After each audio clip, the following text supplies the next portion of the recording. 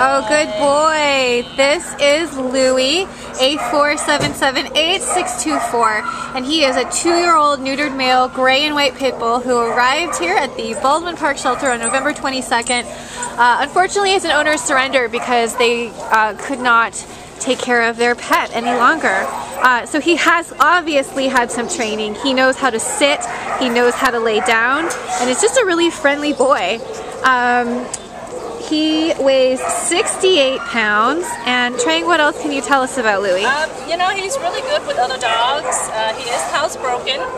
He's really friendly. He's so chilled. Uh, we hang out at the play area, and he just kind of lay like this. And you know, overall, great guy. I don't know what it is. I mean, he's just gorgeous and really easy, um, you know, to handle. I mean, he needs a little leash training, but uh, really easy guy and. Um, uh, you know, he knows sitting down and he's ready for more training. Absolutely, and he has passed his uh, temperament test here at the shelter, so he is available for adoption.